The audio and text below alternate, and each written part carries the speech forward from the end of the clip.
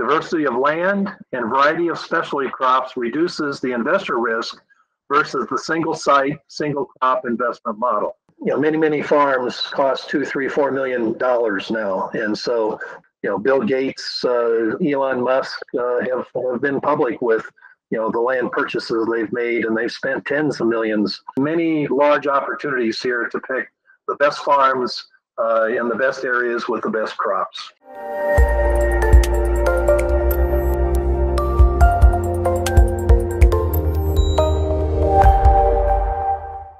Where one person sees a problem, another finds opportunity.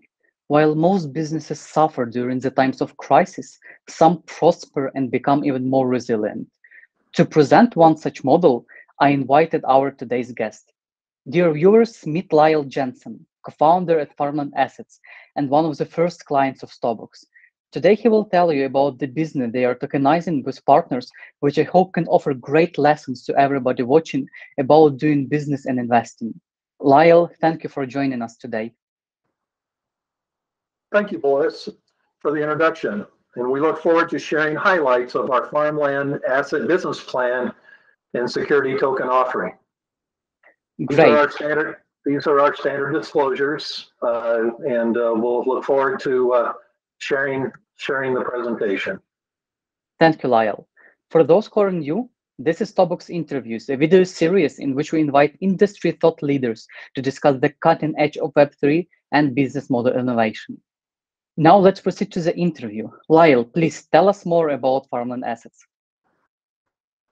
So thank you, Boris. As stated, our mission statement is to provide investors with lucrative returns by managing cumulative profits from acquired prime U.S. farmland using the company's unique cumulative diversity advantage. We believe farmland represents an attractive long-term growth investment while simultaneously providing capital protection during times of political and economic turmoil, climate threats, and global pandemic disruptions that we all are currently experiencing today. However, a noted advantage for a farmland asset token investor is they do not need millions of dollars to buy a farm. For a relatively small minimum investment, each farmland token investor will have the opportunity to experience pro rata benefits from a diverse set of profitable specialty crops grown on several thousand acres of historically productive farmland that will be under our management. As shown here, we focus on on several key growth areas, such as specialty crops uh, for health and wellness products, and the current explosive growth of plant-based bioplastics, biochemicals, and biofuels uh, that will provide decades of premium pricing and growing market demand. Let's provide some additional insight on why farmland has, has been and will continue to be one of the best investment asset classes available. It really comes down to primarily being driven by economic laws of supply and demand. On the demand side, it's estimated that by year 2050, the world population will grow to over 10 billion people and will require farmers to produce up to 98% more food to feed the masses. However, on the supply side, urban sprawl continues to take over agricultural land for residential, commercial, and industrial development at alarming rate, putting pressure on the residual farmland to produce more uh, food goods and services. This current dilemma of diminishing farmland acres with increasing food demand will only make the remaining farmland that much more valuable and the harvested crops will be that much more profitable. Farm a cumulative diversity advantage. And why is it a better model than others? With other farmland investment models, the investor is forced to buy and own one specific piece of farmland and realize profits from one specific crop that could be grown there on a year-to-year basis. Uh, in doing so, a single property could face a higher probability of drought, fires or pests or disease. Uh, the investor also has to wait until the farm property is sold by the majority of owners, which is typically over 10 years uh, before they can recognize a return on their investment. We think there's a better model. And so with the farmland asset cumulative diversity advantage, The investor shares in pro rata harvest profits from the multiple different locations and varied specialty crops that are acquired and accumulated over time. Diversity of land and variety of specialty crops reduces the investor risk versus the single site, single crop investment model. Additionally, the farmland token investor does not have to wait uh, 10 years until the majority of owners decide to sell the farmland to realize the appreciation in land value. The farmland token investor has the freedom to unlock the trading value of their FLA farmland tokens on their timeline, which we all expect will represent the total enterprise value of the cumulative farmland acres uh, under uh, management. As mentioned, farmland asset is also not looking to pursue high volume, low margin commodity crops such as corn, soybeans, and wheat, which have historically low, lower profit returns. Instead, the farmland invest, projected investor results are expected to be significantly higher with a targeted 15 to 18% annual return on, uh, on investment due to the specialty crops producing a higher harvest profit percentage. For example, uh, today in 2022, a typical uh, uh, farmer farming, uh, you know, uh, producing corn or soybeans, uh, he's going to see a, a, revenue per acre of somewhere around $800 to $1,000 an acre. When we took take a look at our specialty crops, for example, our, our vegetables is $8,000 an acre, antioxidant berries are $12,000 an acre, uh, medicinal herbs and spices are $15,000 an acre, and industrial hemp can approach $20,000 an acre. So for this, you know, we're basically looking at taking the land that we acquire and it's productive land to begin with. Uh, it has adequate water, it has adequate sunshine, and we're looking to convert uh, the, these farmlands into a much higher production, higher revenue, higher profitability uh, price per acre, which our farmland investors can, uh, as we accumulate, they can benefit from that.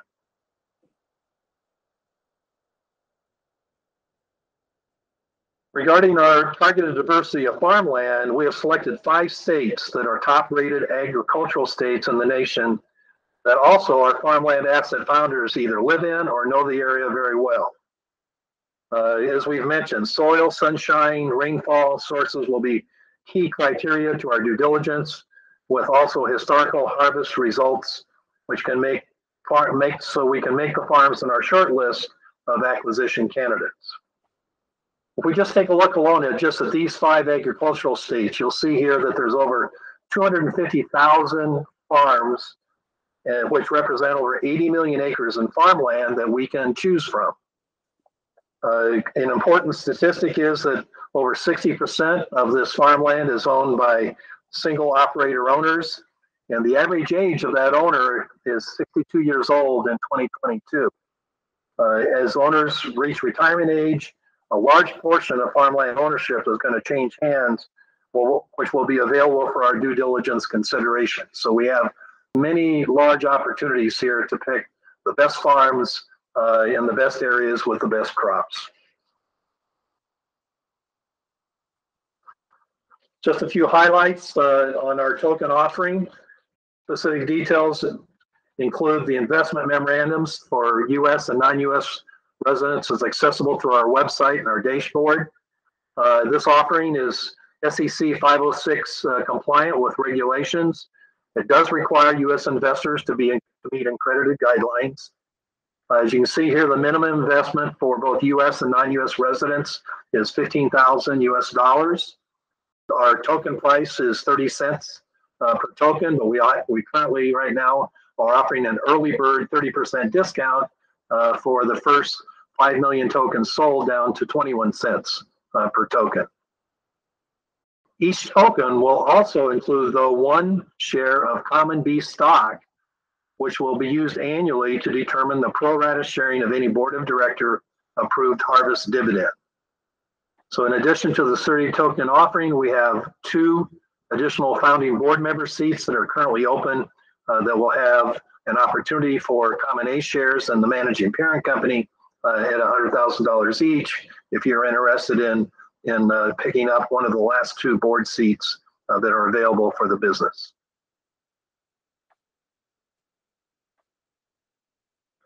StoBox is our digital security dashboard and, and, and security token advisor.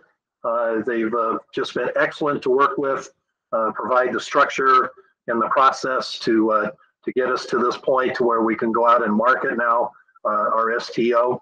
If you do need additional information, you can always contact us, or you can go to the StoBox website uh, and and uh, ask any questions uh, regarding either StoBox and or the security token offering. Our farmland asset leadership currently right now is made up of four founding members. As I said, we have two additional board members, uh, founding board members that we want to uh, look at, recruit, and add to to this group. But uh, we have a, a, just a great seasoned uh, group of individuals that live uh, in Iowa, uh, the Carolinas, in the states that we you know have relation or have relationships with. Bob Smith uh, has been uh, in international business uh, for over 30 years, ran three different successful companies, and, and has strategic relationships we think will be important in South Carolina with McCall Farms, which happens to be the largest uh, vegetable grower in the United States, and we've already had initial discussions with them on on the types of vegetables and and land that they need to uh, support their business plan. Uh, Billy Stiles is a certified uh, uh, agronomist, and he brings just a wealth of knowledge. He speaks nationally and regionally on all kinds of growth areas. he's already been a licensed grower with for industrial hemp, which we believe is going to be a very important bio bioplastic biofuel product. Bob Kells uh, uh, has had a career in uh, security and intelligence. He's a, a, U.S. Marine that had several deployments in the Middle East and Southeast, Southwest Asia, which has given him a host of uh, uh, strategic connections in the uh, in that area of, of the world. Myself, I've been in in the business in CEO or presidential levels of six, seven different companies that I've either taken public or uh, have done turnarounds uh, of private companies, uh, have experience in multi-site management, startups, joint ventures, and have, have done quite a bit of M&A work. So I, I know what we need to do for the due diligence. I grew up on a family farm in Iowa. Uh, uh, here in Iowa, uh, much like Bob has connections with vegetable growers in South Carolina, the number one antioxidant berry is called an aronia berry, and uh, Iowa is the number one producer of that uh, antioxidant uh, berry crop. So, good good management group to that has hands-on knowledge in in the different areas that we're focused on. So let's summarize and recap you know, why we believe this uh, our value proposition is worthy of, of consideration. Uh, first and foremost, law of supply and demand will drive land appreciation and profitable food prices. Uh, uh, compared to uh, you know the stock market or the crypto market, which uh, we have historically seen now you know ups and downs. the the value of land and the value of farmland has has ridden through this without you know any wild upswings, but also no wild downswings. So it's a safe safe investment, and because of the uh, of the shrinkage of, of the available land, the demand for food, we don't we do not see that model you know changing at all. So it's a strong appreciation of the farmland, uh, which has been happening for decades. The growing availability I've, I've mentioned is, is there's going to be a huge change in ownership, a lot of farmland as the uh, single family owner uh, retires. Many times the uh, the kids, uh, uh, the next generation don't want to work on a farm or work that hard. Uh, they would rather see their father sell the farm and uh, use the uh, the funds in in, uh, in, a, in a different way. So uh, that's a great opportunity coming up. we've talked a lot about our diversity model, why we believe reducing investor risk with our end products and having much higher volume per acre is a smart way to go with our business plan. We've got great strategic relationships. Our partnership with uh, with uh, and putting together our FLA token and this whole tokenization area uh, is going to have an area where, uh, again, there's flexibility, there's freedom of, of being able to trade when you want to trade, uh, as opposed to being locked into a, a fixed number of years before you can sell the land. And then just overall, the global sustainability. We have uh, uh, this whole area of emergency plant-based, uh, the, the whole world of biofuels, carbon sequestration through planting.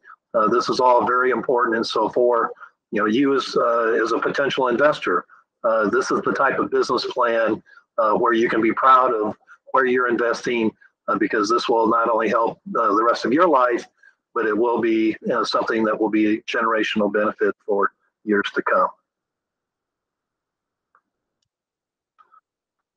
So uh, for more follow-up questions, so we have a lot of detail, uh, as I said, on our website. Uh, the information memorandums uh, are on our website that you can go uh, take a look at you know, whether you're a U.S. resident or a non-U.S. resident. here's our website you know, contacts and our, our email contacts. Uh, Jason is our interface uh, at Stobox. So uh, again, multiple ways here for you to be able to contact us. And we look forward to your interest. We look forward to answering your questions, and uh, we believe this is worthy of your consideration. So thank you. Lyle, thank you for the presentation. It was extremely interesting and entertaining. And I love the fact that your business model is very well thought out. It isn't just written yesterday on the back of the envelope, but a lot of work went into understanding it, which is felt in the level of detail to which you go when speaking about it. And I love how the, your presentation of your leadership team and the experience that you have in each of the critical functions for for this business. So again given the importance of executive team for the overall success i feel this is a very important fact for investors to keep attention to. And for founders look in this video to consider whether they have key executive roles filled with the right people as farmland assets does. So coming to the to the questions that i would like to ask it would be great if you could speak about the impact of the current food crisis on your business how does it change your returns your financial projections your plans and the overall attractiveness of the offering well, I think well, that's a good question, Boris. Obviously, with uh, you know the invasion of uh, that Russia has uh, uh you know sadly decided to take with Ukraine, uh, I mean you, know it, uh, food security, lack of food is is actually headline news today, as we know that we can't.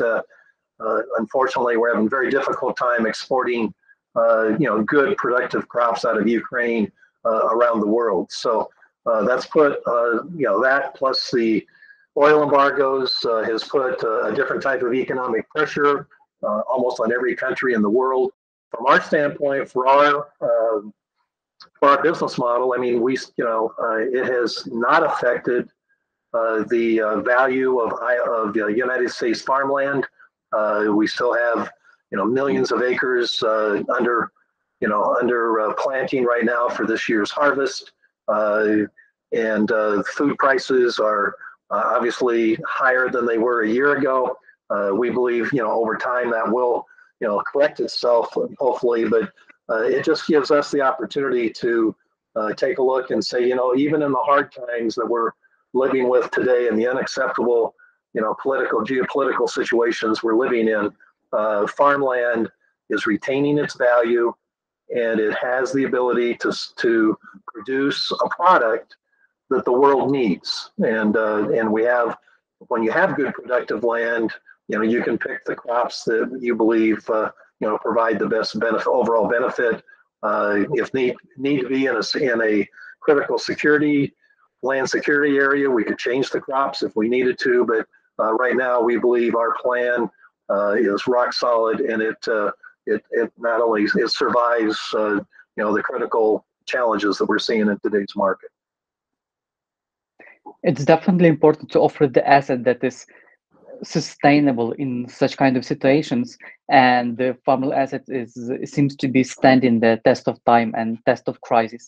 And I like the fact that what you're doing is not only surviving the crisis, but actually helping to relieve it by investing in farmland, investing in food production. That your business is not only about making money, but also making world a better place by solving the problem of, of food production and food availability, which is going to become even worse in, in the coming decades. And also you mentioned about your efforts on biofuel and sustainability. So it would be great if you could speak a bit more to our viewers about your efforts in ESG and the sustainability sector. Sure. Uh, well, uh, I've spent my last uh, 10 years in the uh, in the world of uh, sustainability, uh, biofuels, carbon capture, carbon reduction, which all we you know we we do need to focus on that from the standpoint of our climate. Uh, you know, we're living that uh, literally today with uh, 100 degree temperatures around the world, but uh, so it's an area I'm very comfortable with uh, that uh, I've spent a lot of time in.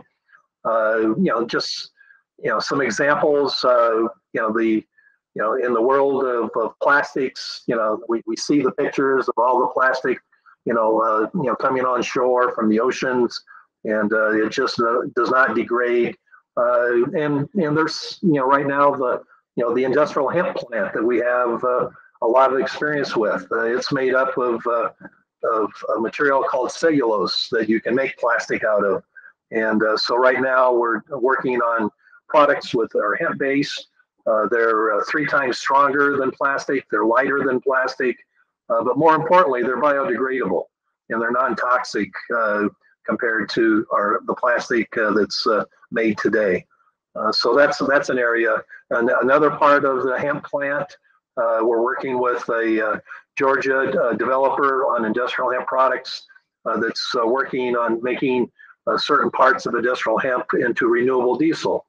And we found out that it, for a relatively technically available process, we can actually make biodiesel out of a, a renewable diesel drop out of drop and a drop into uh, the same standards of a diesel, fossil-based diesel. So that's one that's going to need acres and acres and acres of of uh, industrial hemp as we go forward. Uh, Europe is on is has taken a lead on using beets, sugar beets, uh, to replace fossil uh, glycol and and propylene uh, glycols for things such as uh, oh, antifreeze, de-icing of airplanes, polyester plastics, polyester textiles.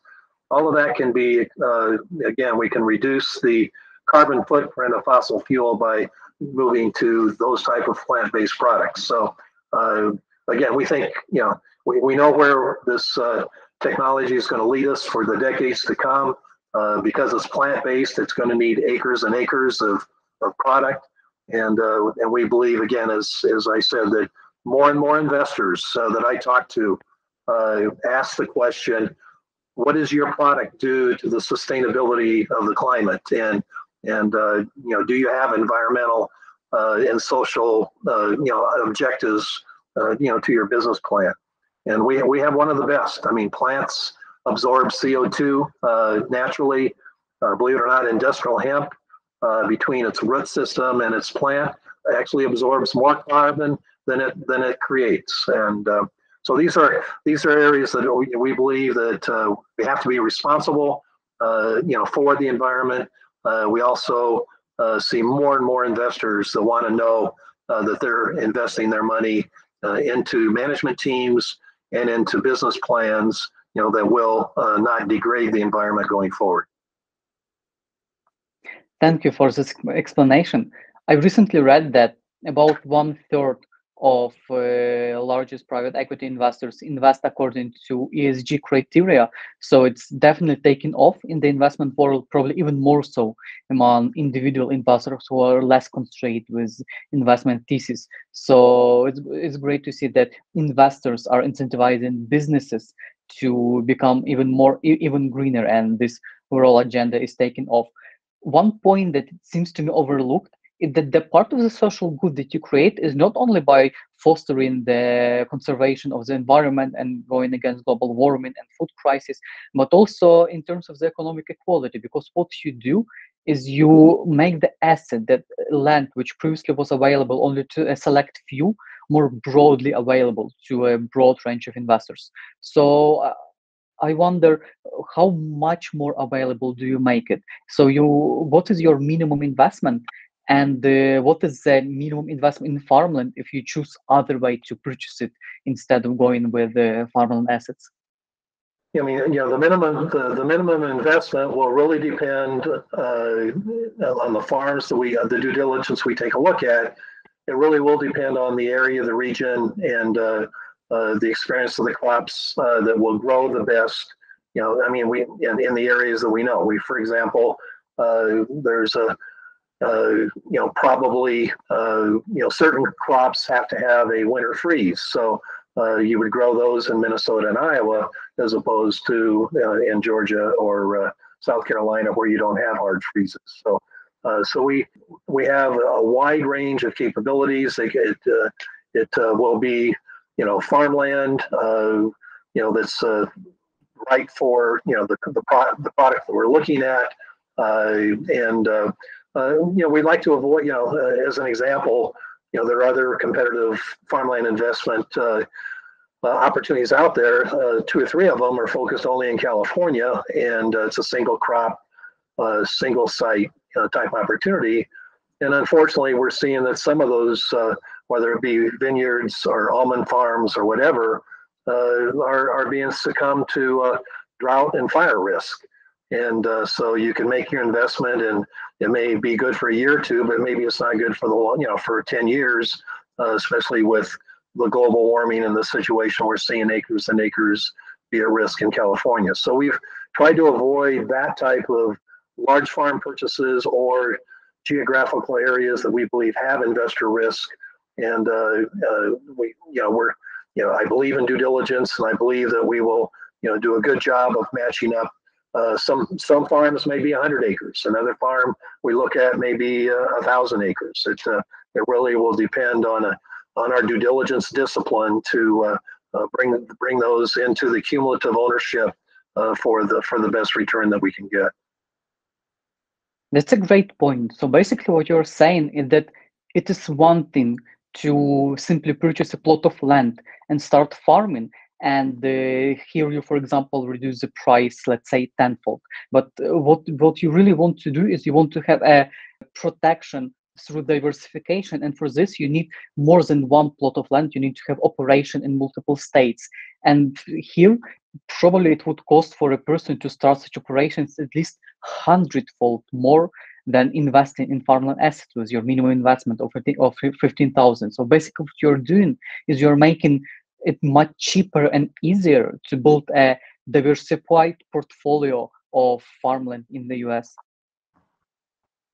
Yeah, very much so. Yes, I mean, you know, it, uh, it it's not, you know, uh, you know, many many farms cost two, three, four million dollars now, and so you know, if you're going to, uh, you know, if they're going to split that amongst just a handful of people, uh, you know, the, that's that's a whole different ballpark. We're trying to give we're trying to give everybody that that's not necessarily a multimillionaire. We're giving them uh, the opportunity to uh, uh, to benefit from the uh, from the harvest of the land.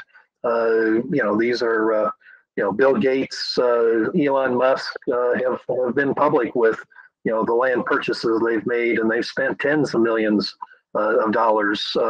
you know, for some of the same reasons. Well, we're we're giving we're giving uh, you know our farmland uh, token investor that same type of uh, opportunity to to participate.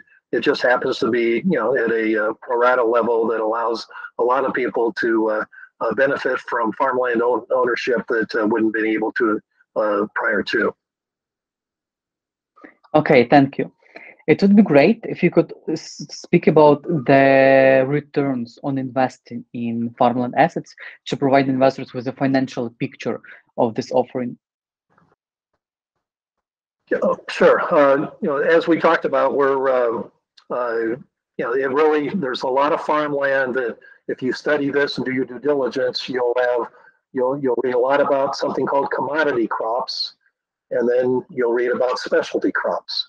Uh, and as we mentioned, uh, commodity crops are, you know, high volume, uh, lower margin, usually three to four percent cash uh, harvest profits uh, for uh, you know for thing products like corn, soybeans, wheat, cotton that have you know that really are you, you, don't have a large control over the the pricing of it. It's it's you know shipped all over the world, and so world economics drives the price. We've seen fairly over the years some wild you know wild changes in in what happens to those type of crops.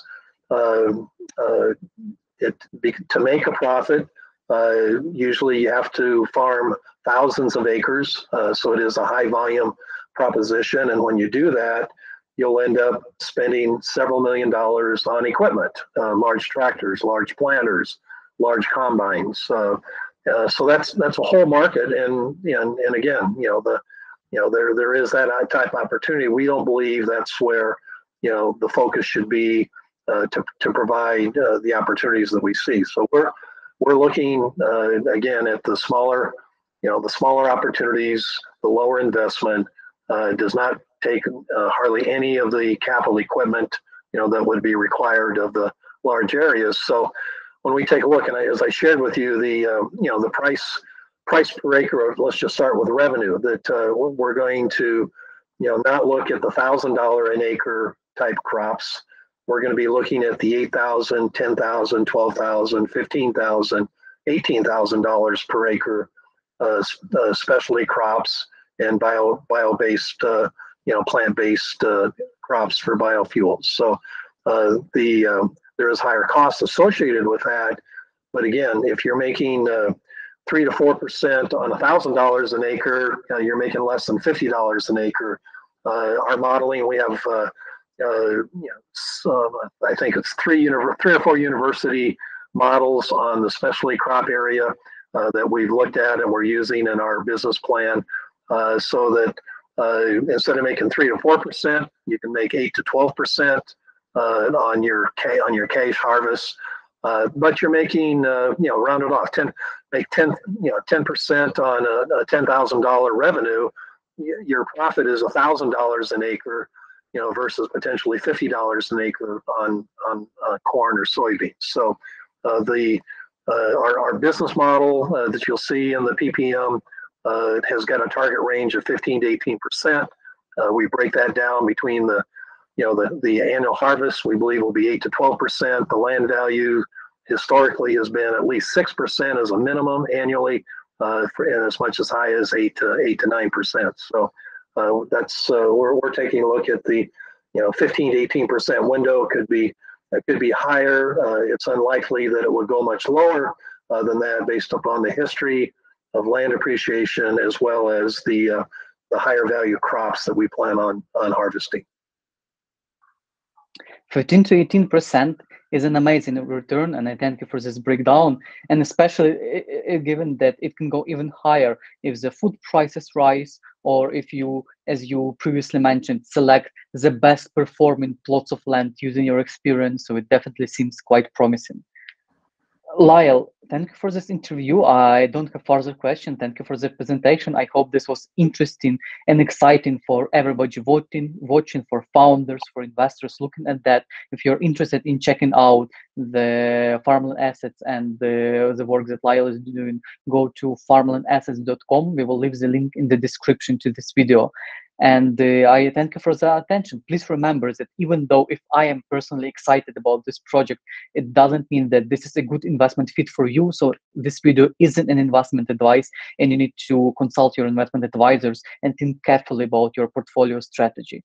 So just make sure that you're making wise investment decisions overall and i hope that watching such videos looking at different models at different client that we have will help you to understand what great opportunities exist out there on the market and thus start making better decisions in business and investing. So i thank you for attention and see you in the next episode. Lyle thank you that you came to us. Thank you